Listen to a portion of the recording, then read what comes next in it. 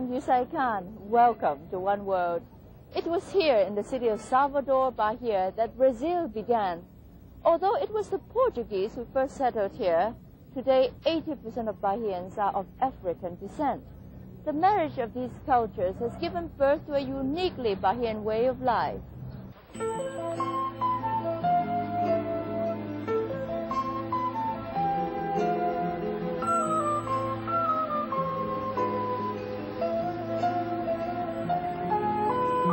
Por céus e mares eu andei, vi um poeta e vi um rei, na esperança de saber o que é o amor. Ninguém sabia me dizer que eu já queria até morrer, quando um velhinho com uma flor assim falou.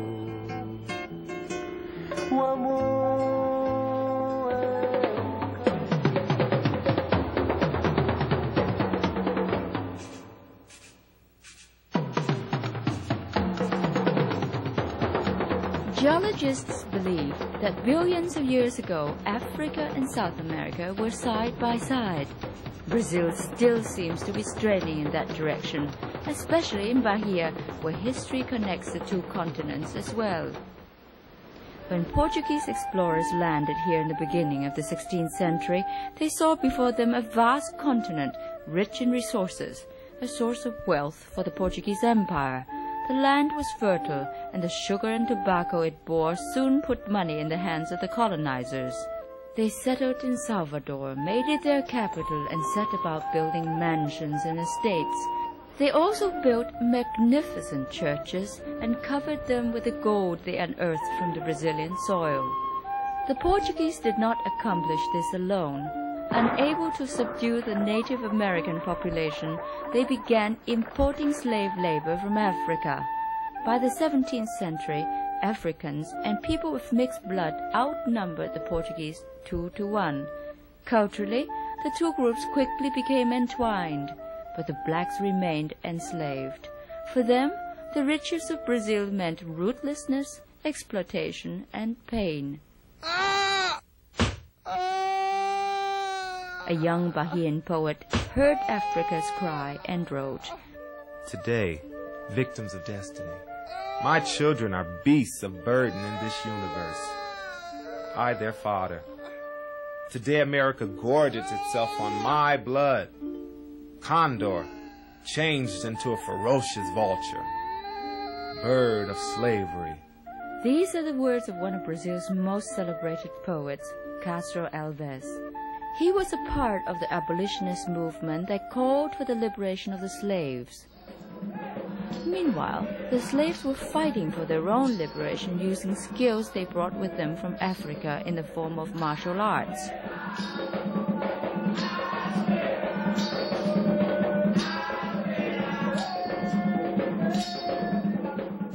This is maculelê, a lethal art with knife in hand.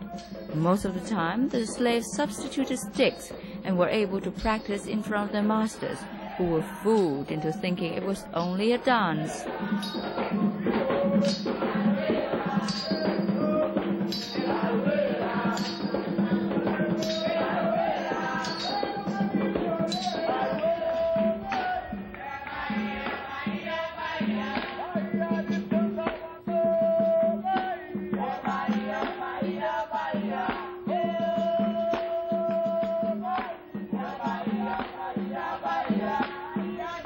Playful movements disguised another martial art, capoeira. On wealthy colonial estates like this one, slaves practiced a series of deadly kicks hidden amongst cartwheels and backflips. If a stranger approached, the musicians could warn the others to interrupt their fight.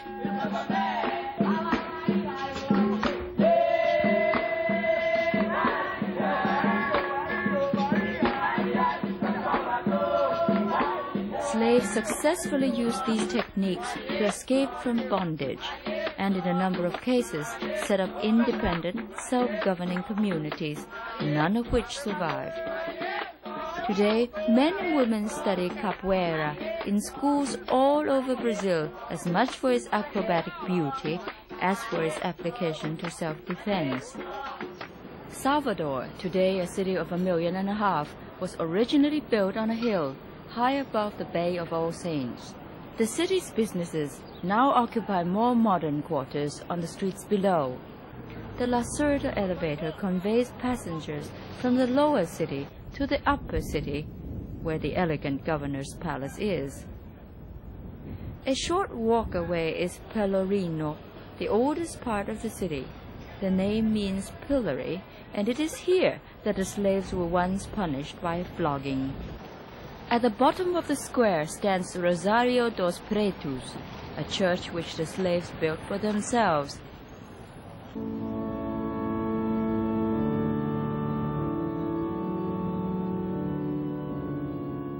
In resplendent churches like San Francisco, slaves were segregated from the rest of the congregation and relegated to more austere surroundings.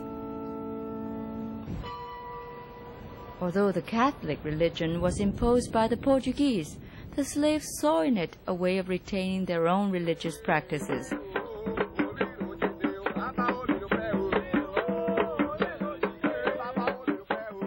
They discovered parallels between the Catholic saints and their own ancestral gods, the Orishas. When the priests spoke of the Christian Savior Jesus, they thought of Oxalá, their god of creation. In this way, the slaves modified the religion they brought with them from Africa and called it Candomblé. The easy coexistence of Candomblé and Catholicism characterizes religious practice in Bahia to this day. This is Bonfim, the most popular church in all of Bahia. While it is strictly a Catholic church, people of all persuasions come here to worship. They are especially attracted by the miracles that are said to occur here. A small room of the sanctuary houses photographs and strange relics representing miracle cures. Outside, children and adults hawk the famous Bonfim ribbons. They can be seen everywhere in Bahia. It is said that if you wear one on your wrist until it falls off, your wish will come true. Superstition plays a key role in candomblé.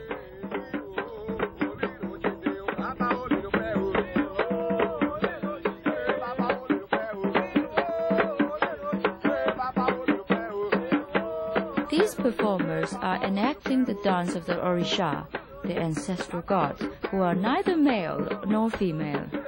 Through dance, the initiated seek to incarnate the gods.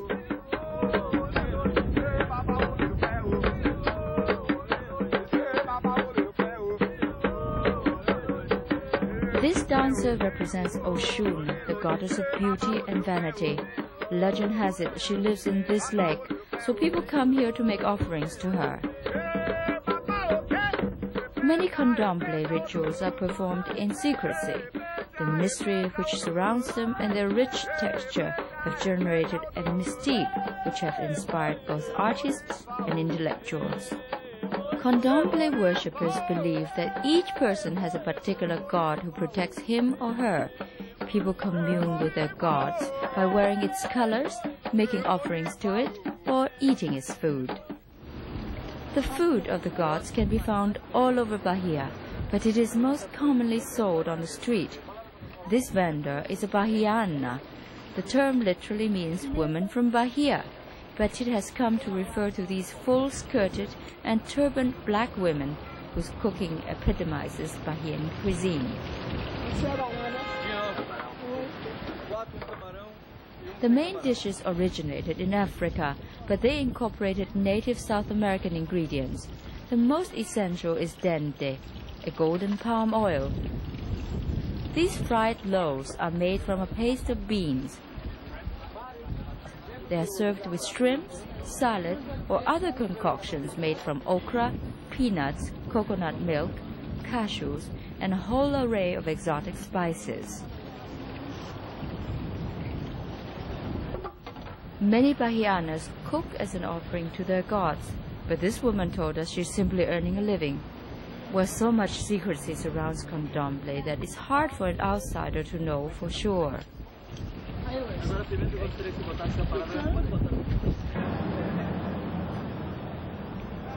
It is said that about one third of Brazilians are black, and that almost everyone in the country is of mixed blood. The enormous influence of African tradition on Brazilian culture is undeniable, but in spite of this, blacks have made few inroads into the mainstream of Brazilian political or economic life. Of course, there is always an exception to prove the rule. Eu vou pedir uma aí, mas, viu? This is Edvaldo Brito, a successful man by anyone's account. He is a lawyer and the only black teaching at the University of Salvador's Faculty of Law. He is also the only black from Bahia currently running for the National Constituent Assembly, Brazil's equivalent to Congress. If he wins the election, he will be one of the only two blacks among 548 national representatives. Is this disproportionate representation due to racial prejudice? I asked him. Porque o racismo, realmente nós não temos. We really don't have racism in the Nazi sense of the word, in the sense of South Africa, where people are separated because they were born of a certain race. No, here people of different races can live alongside each other.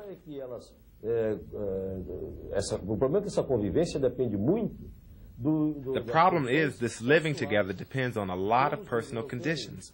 And as blacks aren't in a position to arrive at the point where whites can arrive, segregation comes about through a natural social selection. Por uma seleção social natural. His wife, Reginalda, is a university professor who has closely examined the problems of blacks in Salvador. While they face many social and economic barriers, Reginalda sees possibilities for blacks to advance.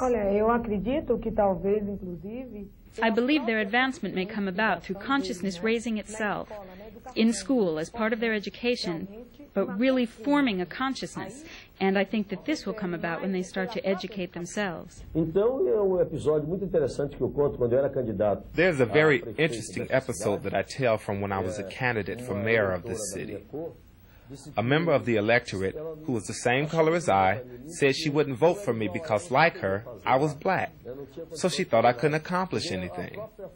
So there's a lack of consciousness about the power that we have.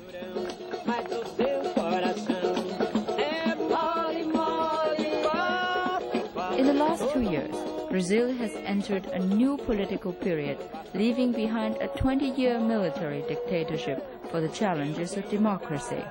The Brazilian people have welcomed this advance and see in it the possibility for a brighter future. For the Britos, this includes the opportunity for Brazilians to begin addressing the question of race. And so I think, and so does my wife, that in the future the fundamental element for change will be the black people's own strength when they themselves become conscious of the value of the power that they have. So the Bahia that inspires poets and musicians, whose voice calls out mysterious incantations from the past, is not only a cultural wellspring. Its African roots also serve as a source of strength and identity for a people striving to fulfill their dreams.